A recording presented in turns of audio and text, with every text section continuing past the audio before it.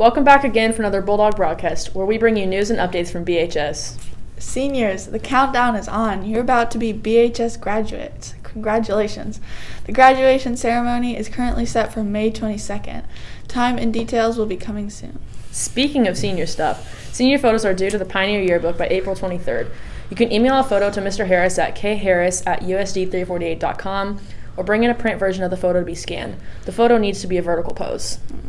And speaking of yearbooks, if you have not purchased a Pioneer yet, you can do that online at www.walsworthyearbooks.com.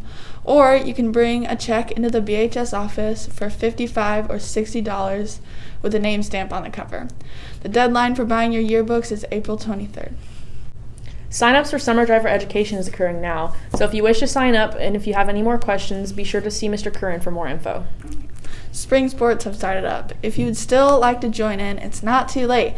Contact head coaches such as Coach Ising for girls soccer, Ashcraft for boys tennis, Spielman for track, Collins for golf, or Scobie for softball, and also King for baseball to get information to participate. The BHS freshmen Cole Peterson and Isaac Stenberg have qualified for State National History Day with a website they created about carrier pigeons in World War One. Good luck, and we hope you go far in the competition. Yep. Some more com- competitive success happened for BHS students as the journalism staff had 18 placings in the KSPA regional contest. Placing first in three categories was Grace Parker. Hallie Flory and Ty Harris also placed first in their categories. Jocelyn Higgins placed second, and third place finishers were Annette Ozier and Taylor Flory. Earning fourth place were Ian McCoy and Jewel Marsh, and placing fifth was Brooklyn Chase. Two students earned a sixth place finish Gracie Bryan and Victoria Daniel.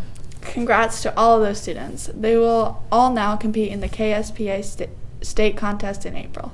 Now it's time for a sports report from Bulldog broadcasters Ian McCoy and Drew Schoendaler. What do you got for us, Ian and Drew? What's up, guys? Me and Ian are back here today. Let's go. Now it's time for a winter sports wrap up and a preview of our spring teams. The big news this winter came from our brand new team, and its only second year of the girls wrestling program. The Bulldog girls had an amazing season and topped it off with a state championship. The team also won first place at districts, regionals, and sub-state. They had six state qualifiers and four state placers. The state placers were Audrey, Audrey Darnell, Emma Grismy, Haley Wimpy, and Maddie Hargett. And also state qualifiers Daniela Kozakova and Jasmine Rainier. Way to go, girls! The boys wrestling team had six qualified for sub-state and one state placer. The sub-state qualifiers were Dalton Dempsey, Nikos Benton, Miguel Andazola, Josh Broyles, Jack Harvey, and Toby Thomas. Thomas also placed fifth at state. The girls basketball team ended the season with a 9-8 record. At sub-state, they knocked off Eudora, a team they had lost to previously, and the Bulldogs advanced to the sub-state finals, where they faced the state's number one ranked Bishop Miege, ending their season, sadly.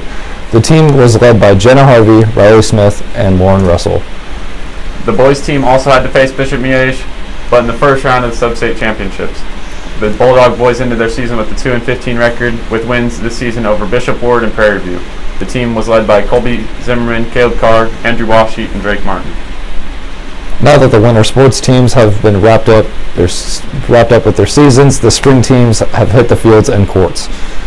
The boys tennis team is coached by Jim Ashcraft, the girls soccer team coached by Drew Ising, the golf team coached by Greg Caps, the baseball team coached by Jay King, the softball team coached by Chad Scobie, and the track and field teams coached by Mike Spielman. The teams all started practicing this week, preparing for their opening games after spring break. Good luck to all of our Bulldog teams, and now we go back to Nora and Ellie in the studio. Thanks, guys, and good luck to our Bulldog sports teams this spring. And way to go, Bulldog Girls Wrestling. That's awesome. A team that both you and I are a part of. You mean this thing? Dang right. State champs, baby. Spring break is upon us. Hope everyone has a great week. Enjoy the time off, and we'll see you soon when we get back. Thanks for watching today's Bulldog broadcast on the Bulldog News Network. Remember to always walk on the right side of the hallway And stay classy.